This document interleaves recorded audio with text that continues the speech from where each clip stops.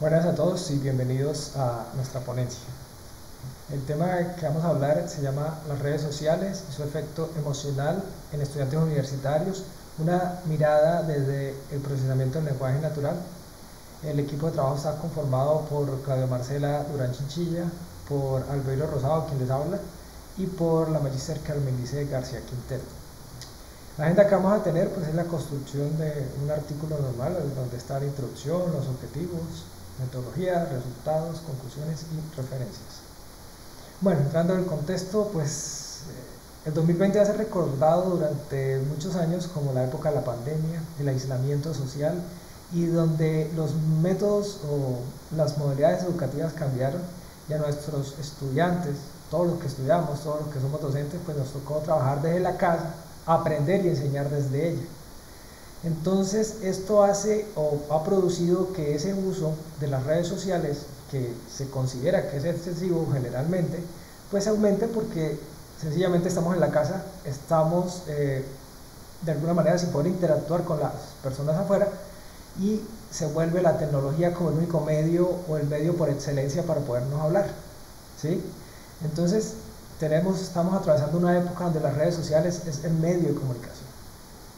Sin embargo, en las personas de menos edad, en las personas jóvenes, las redes sociales se han vuelto un mecanismo para expresar lo que sienten y lo que sienten eh, muy seguido. De manera tal que están cambiando constantemente sus estados, están escribiendo constantemente lo que sienten, están actualizando sus fotos, están comentando lo que hacen los demás y eso genera un exceso en ocasiones que puede llegar a ser una adicción. Esa adicción pues no es para nada saludable porque pues, es un aspecto negativo. Y adicionalmente eh, esas adicciones terminan generando con el tiempo depresión. Entonces tenemos una característica de gente joven muy, muy pegada a las redes sociales y que de alguna manera están entrando en depresión o desarrollando sentimientos negativos al estar en ellas.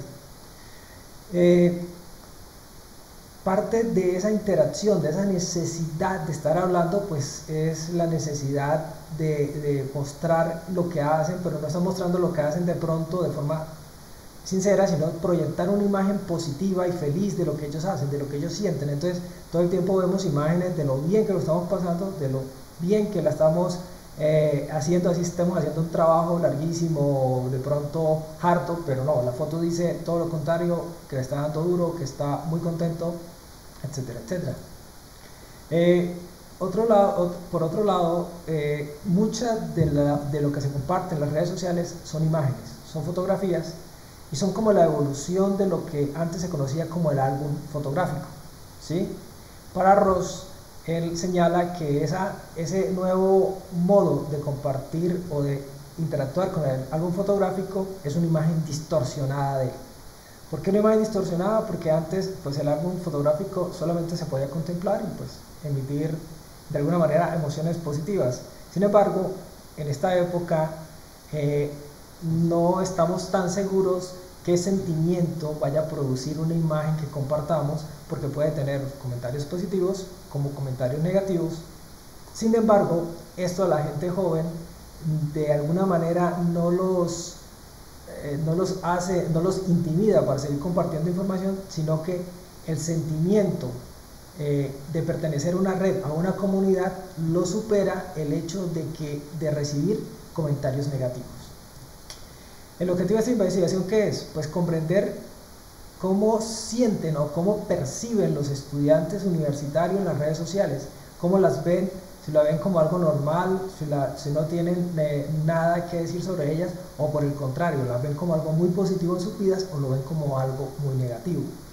La metodología usada pues fue una, estamos haciendo una investigación cuantitativa de tipo descriptivo y lo que hicimos fue combinar eh, los valores que me dan las cifras de lo cuantitativo, tratarlo de, de, hacer esa parte descriptiva a través del procesamiento del lenguaje natural, es decir, tratar de interpretar unas respuestas que los estudiantes nos dieron.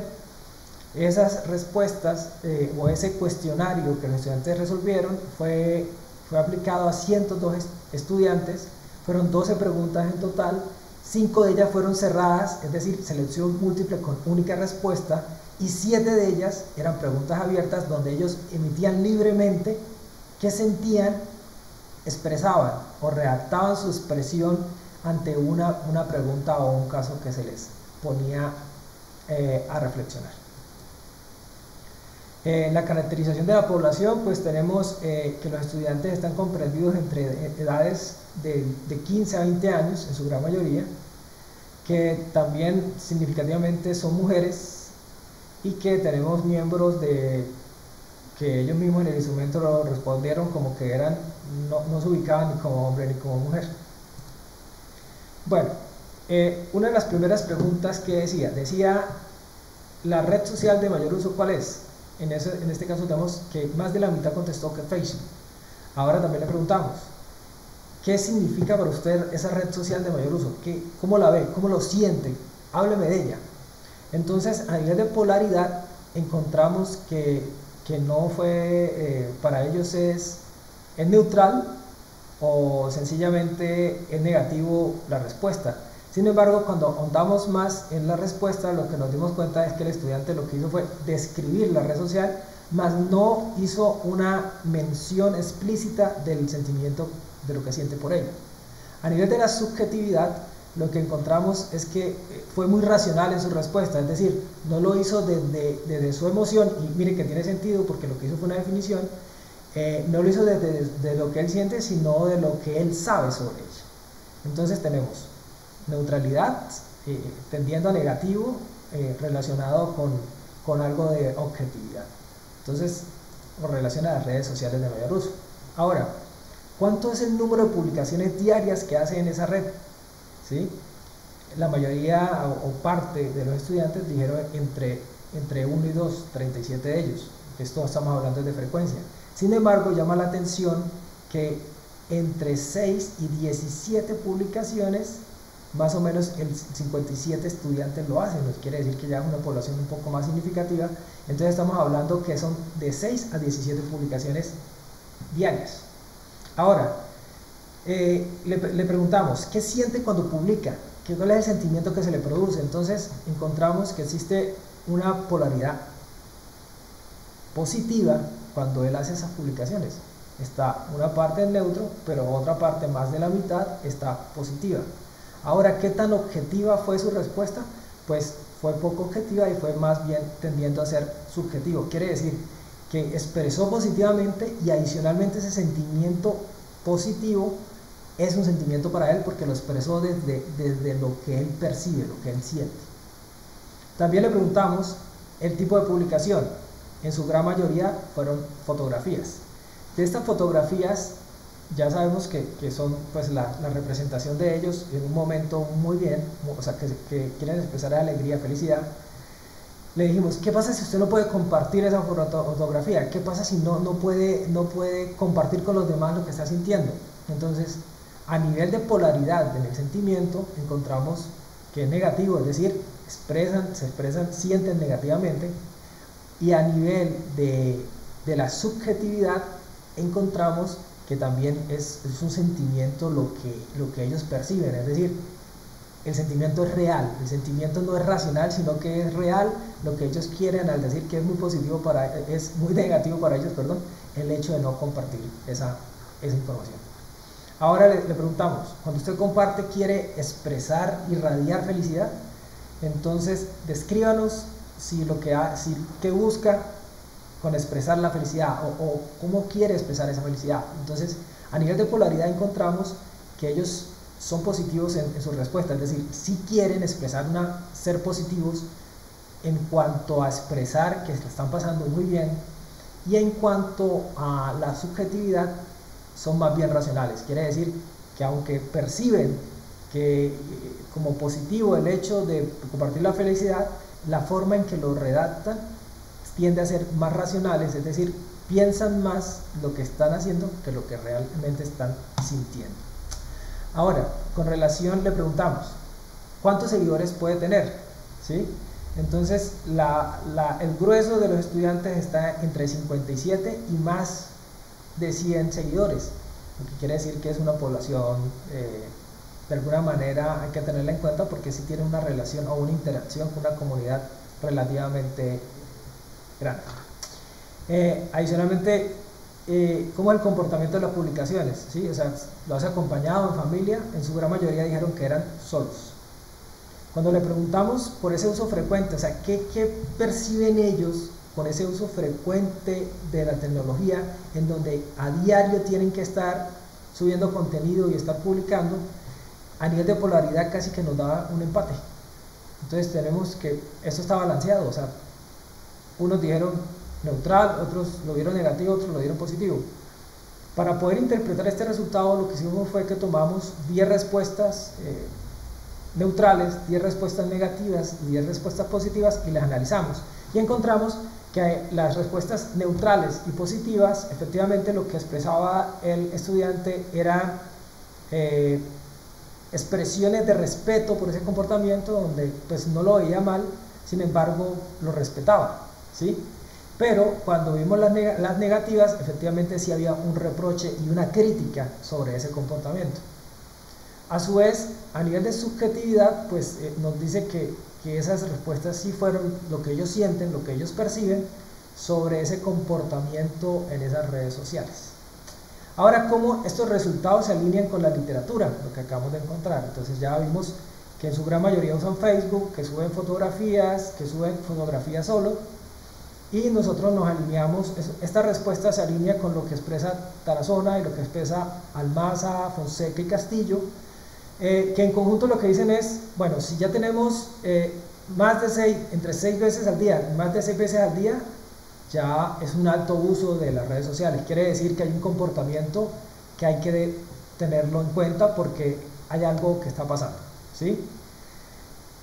En ese caso es, están subiendo muchas fotos, están interactuando bastante o ya con, frecuencia no tan normal con las redes sociales y adicionalmente el hecho de mostrar fotos, de tenerlas que arreglar, de ponerle el mensaje, pues quiere decir que el tiempo que, le están dedicando es un tiempo considerable. Hay que revisar qué está pasando allí.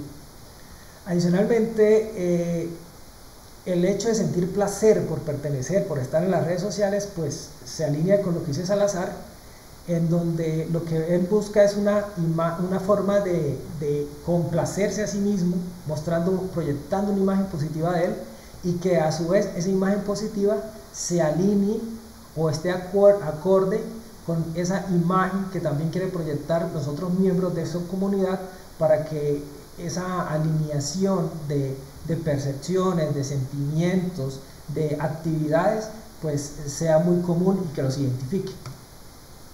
También eh, esa frustración que ellos tienen cuando no pueden interactuar ni, estar en, eh, en, esas redes sociales, pues según Digic lo que, lo que expresa es que, que, pues eso ya es algo que se debe tener, prestar atención por lo que lo único que quiere es buscar una, una forma de poder llegar a esa comunidad, una forma de poder obtener un reconocimiento por su comunidad y ganar esa aprobación. Es decir, que el grupo de, de seguidores y de seguidos apruebe su comportamiento y tener un lugar dentro de ellos y sentirse parte de esa comunidad.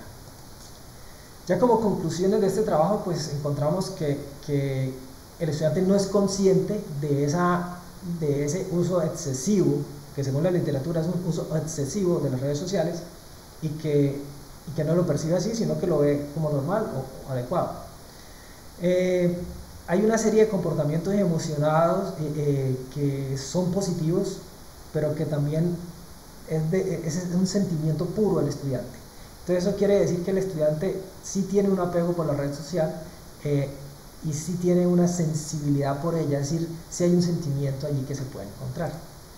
Por otro lado, pues eh, hay una invitación que deja este estudio que, hay que empezar a, mirar, eh, en el caso de nosotros como docentes, los padres de familia, qué pasa con, esa comunidad de jóvenes y esa división diaria de actividades en las cuales las redes sociales puede ser parte de ella, pero no una gran parte de su vida, en donde haya deporte, en donde haya lectura, en donde haya otras actividades lúdicas en las cuales pueda dedicar parte de su tiempo y no absorberse en las redes sociales porque de alguna manera puede estar ocultando procesos de autoestima o depresivos, eh, buscando interactuar con una comunidad a través de una pantalla. Y estas fueron las referencias. Agradezco a todos su participación y asistencia a esta charla.